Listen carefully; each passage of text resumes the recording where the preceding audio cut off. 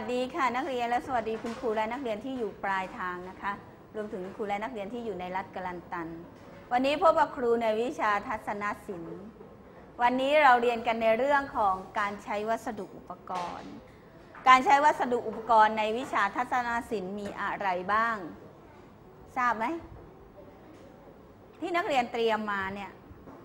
ทุกครั้งเออมีสมุดวาดเขียนเป็นกระดาษสำหรับวาดใช่ไหม มีอะไรอีกฮะมีอะไรอีก สีอะสีที่นักเรียนรู้จัก มีอะไรอีก ที่รู้จัก ดินสออะไรอีก ผู้กันมีอะไรอีก อะไรครับ นึกไม่ออกแล้วไม้บรรทัด เอาไว้ขีดเส้นอ้าวก็ได้ ใช้ได้เหมือนกัน มีเยอะหลายอย่างเลย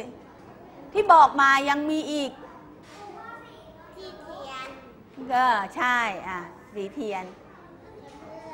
ผ้ากันเปื้อน เอาไว้ใช้ตอนไหนค่ะวันเกื้อนไปดูกันเลยไหม ไปดูวัสดุอุปกรณ์ในการทำงานนะ ทัศนศิลป์อะดูที่สไลด์เลย การใช้วัสดุอุปกรณ์ใช้ยังไงใช้ให้เป็นรู้จักแล้วใช้ได้ไหมนะเดี๋ยวจะให้นักเรียนได้ ได้ศึกษาแล้วก็เรียนแล้วก็จะได้ปฏิบัติในการใช้งานนะคะ มาดูวัสดุอุปกรณ์ที่นักเรียนควรรู้จักนะเรียนรู้ให้หมดเลยมีอะไรบ้างนะสำหรับที่ใช้ในชั้นป .1 อะไรเอ่ยดินสอมีไว้ทำอะไรทราบไหมเออดินสอนี้เป็นอุปกรณ์เบื้องต้นเลยที่นักเรียน จำเป็นจะต้องจำเป็นในการวาดภาพทุกชนิดเลยนะเริ่มต้นนะเราก็ต้องจะวาดก็ต้องร่างภาพก่อน โดยใช้ดินสอ ดินสอที่เหมาะกับการร่างภาพมีขนาด HB คือดินสอของนักเรียน คือดินสอของนักเรียนนั่นเอง ซึ่งมีตัวตัวความเข้มอยู่ที่ตรงปลายดินสอนะ เพราะว่ามีสีอ่อนลบออกได้ง่าย นี่จะให้นักเรียนดู ความเข้มที่ HB ความเข้มที่ HB ดูจากไหน ใช้ดินสอล่างผ้าจะมีตัว จะมีตัวภาษาอังกฤษนะเขียนอยู่ตรงนี้ใช่ไหมคะนักเรียน ตัว H B นี่คือความเข้มของดินสอ คือดินสอที่นักเรียนทำงานนี่แหละ นี่ ดูความเข้มตรงนี้ คือมีความเข้มอ่อนสุดแล้วนะคะ เวลาล่างล่างเบาๆ แล้วก็ทำไม เวลาลบแล้วไม่มีรอย เวลาเราร่างใช้ดินสอร่างเบาๆ นี่นะคะ นักเรียนความเข้มดูจากตัวนี้นี่สองตัวนี้ใช่ไหมเห็นไหมเรียนกับคุณครูคุณครูมนทิพย์หรือยังตัวเฮดยังไง ตัวเฮดหน้าตาอย่างนี้ ตัว B สองตัวเฮด B คือดินสอที่นักเรียนเขียนหนังสือนี่แหละ เอามาใช้ร่างภาพคือมีความเข้มอ่อนแล้วนะคะเอามาดูตัววัสดุอุปกรณ์ชิ้นต่อไปอ้าวการเก็บรักษาดินสอ เมื่อใช้เสร็จแล้วทำไม เก็บเข้ากล่องกล่องดินสอ ให้เรียบร้อย แล้วดินสอนี้ต้องเหลาให้ แหลมนะคะ ไว้ใช้งานได้ทุกเวลานะดินสอเวลาใช้งานเหลาให้แหลมอย่าให้มันทู่ทู่ทู่ทู่นะไม่ไม่ไม่เขียนหนังสือก็ยังไม่สวยเลยร่างภาพก็ไม่สวยอ้าวอย่างลบใครไม่รู้จักอย่างลบบ้าง ไม่รู้จักเอฟก็ไม่รู้จักอ้าวไม่ทำไมไม่รู้จักเพราะอุปกรณ์การเรียนเหมือนกัน ใช้ในการวาดภาพเหมือนกันนะอย่างลบต้องมีสีอย่างลบที่ดีต้องมีสี สีขาว เป็นอุปกรณ์สำคัญอย่างหนึ่งที่ขาดไม่ได้เหมือนกัน เพราะว่าทำไม เพราะว่าเมื่อนักเรียนร่างภาพ นักเรียนจะระบายว่าร่างภาพขึ้นมาใช้ดินสอร่างภาพแล้วร่างผิดร่างเส้นใหม่ร่างผิดร่างใหม่ล่างคือไม่กดแรงนะล่างคือลากเบาๆ แล้วมันก็ทำไมมีเส้นขึ้นมาที่ไม่ต้องการ ขึ้นมาใช่ไหมเส้นที่เกินไม่ใช่เส้นนี้ไม่เอาไม่เอา เส้นนี้ไม่ใช่ทำไมใช้อะไรลบยางลบยางลบที่ดีควรมี สีอะไรเนี่ย สีขาวนะคะ สีขาว เนื้ออ่อนลบง่าย สีขาวเนื้ออ่อนลบง่าย นักเรียน เวลานักเรียนไปซื้อ บางโคบางบางบางอย่างเขาจะมีเป็นรูปการ์ตูนสีสันต่างๆนะอันนั้นนักเรียนก็ซื้อเลือกก่อนโดยการเลือกที่รูปการ์ตูนรูปสี นักเรียนดูถ้ามันนิ่มแล้วอ่อน นิ่มอ่อนสีขาว นักเรียนควรจะเลือกนะนักเรียนควรจะเลือกใช้ยางลบอ้าว เนี่ยดูจากภาพก็ได้นะ แต่นักเรียนที่ซื้อมีร้านสวัสดิการถ้ามีสีสีสีกับสีขาวนักเรียนจะเลือกสีอะไรคะ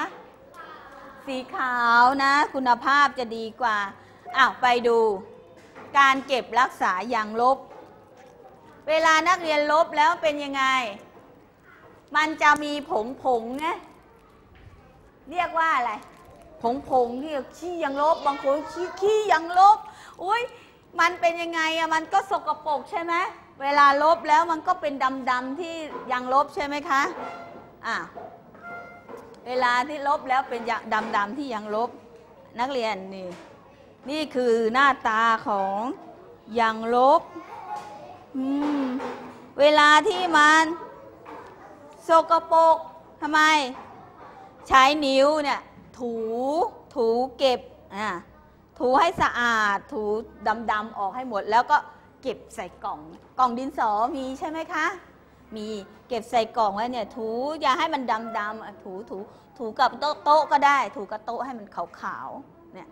ถูถูถูเนี่ยมันมีผงใช่ไหมเช็ดเช็ดเช็ดเช็ดให้มันสะอาดนะแล้วก็ไปเก็บนะคะ มาดูอุปกรณ์ชิ้นต่อไปนักเรียนใช้อยู่ประจำเลย สีไม้หรือดินสอสีนี่ยถ้าใครไปเจอเอาดินสอสีขึ้นมา งงไหมไม่งง ก็คืออย่างเดียวกัน สีไม้กับดินสอสีคืออย่างเดียวกันมีสีให้เลือกแล้วก็เหมือนดินสอเลยจับง่ายด้วยนะระบายเวลาระบาย เอาสีอ่อนระบายก่อน แล้วก็ระบายสีที่เข้มเข้มๆก่อนที่จะนำก่อนที่จะนำสีมาระบาย ต้องทำไม เหลาเหลาเหลาก็ให้แหลม เหลาปลายดินสอให้แหลมนะเพื่อเพื่อ แล้วก็เก็บใส่กล่องให้ หลังใช้งานเสร็จ ให้ครบนะดูสีให้ครบ ในกล่องเรามีกี่สี ไม่ได้ฝาดห้องเจอทุกครั้งเลย เวลาครูทำความสะอาดห้องสีหล่นอยู่ แสดงว่าของใครคนหนึ่งต้อง ไม่ครบแล้วใช่ไหมเวลาเก็บสีอะเวลาเก็บสี สีเนี่ยมันจะมีอยู่นักเรียนก็ดูให้มันครบเนี่ยดูให้ครบเนี่ยมีสีบอกอยู่เนี่ยเนี่ยเนี่ยเห็นไหมเนี่ยก็นักเรียนไม่งงนักเรียนก็ใส่ตามสีนี้เลยก็ได้ฮะให้ครบแล้วก็เหลาให้แหลมเนี่ยแหลมพร้อมที่จะใช้งานเหลาสีให้แหลม เวลาเหลา เวลาเหลานักเรียนใช้กบ ไม่ใช้มีด เพราะว่านักเรียนยังเล็กอยู่ ใช้กบเหลานะคะเหลาเพราะเพราะว่าเวลาทำเราใช้งานต้องแหลมนะคะ กู้ทู่ทู่ทู่กุดกุดมีไหมมีของใครไหมมันจะไม่สะดวกใช้แล้วระบายสีไม่สวย เนี่ยเนี่ยเนี่ยเนี่ยเนี่ยของนักเรียนเนี่ยนไหม นี่เขาว่าสีเนี่ยกุดแล้วเห็นไหม อันนี้แหลมนไหมต้องเหลาให้เป็นแบบนี้นะคะ แบบนี้ไม่เอา อันนี้ก็ต้องเหลา นี่จับเหลานี่เหลาให้พร้อมที่จะใช้งานเหลาให้แหลมนะคะนักเรียนก็มีกบไว้ นี่คือกบเหลาดินสอ แล้วเวลาเก็บทิ้งผงไม่ใช่ทิ้งในในในโต๊ะเรียนนะแอบหย่อนไว้นักเรียนไม่ได้ หา หากล่องมาใส่หาถุงมาใส่แล้วก็เพราะอยู่ในห้องนี้ใส่ถุงก่อนถ้าอยู่ห้องเรียนก็ไปใส่ถังใครถังขยะเลยเพราะห้องนี้ไม่มีถังขยะ เอาใส่ถุงเก็บไว้ก่อน แล้วเเออเพื่อนไม่เอาต้องพอเจอเพื่อนก็ต้องเตือนเพื่อนเลยนะคะ อันนี้คือสีสีไม้หรือดินสอสีนะคะพอเก็บรักษาทำไมครูบอกแล้วว่าต้องทำไม สีกุดเราก็ใช้กบเหลาหรือมีดเหลา แต่ปหนึ่งให้ใช้กบเหลาเก็บใส่กล่องให้ครบทุกครั้งเลยเวลาเก็บ เพื่อนยืมไปก็มาดู